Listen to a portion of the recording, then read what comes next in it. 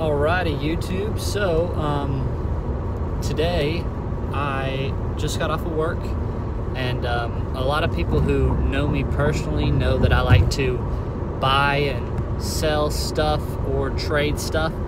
So, today I am actually going to look at a, another car. It is a 2006 BMW 3 Series,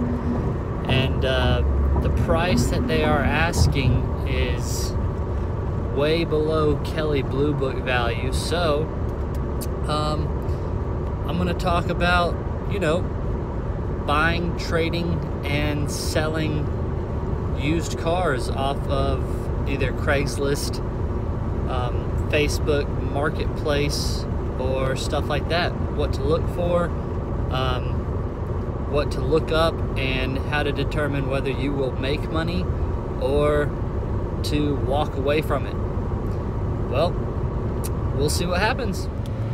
Alrighty, we are all on the way to look at this car that I'm possibly flipping. So hopefully everything checks out and um, I'll be able to make some money or sell the car that I'm in and keep this one. Hey, So- let me talk for a minute.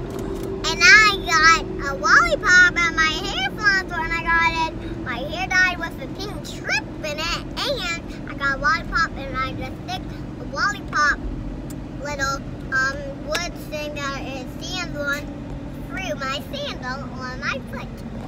Yeah, and she did all of that. So uh, yeah, we'll keep you updated. You get up to 30,000 in credit. Alrighty guys, so I just did it. I bought the BMW and I am absolutely torn right now because I am loving driving this car. So I don't know which one I'm going to keep, my Acura or the BMW.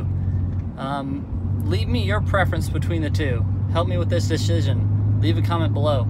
Thanks. Alrighty guys. So, here's the new Beamer that I got for a pretty decent price.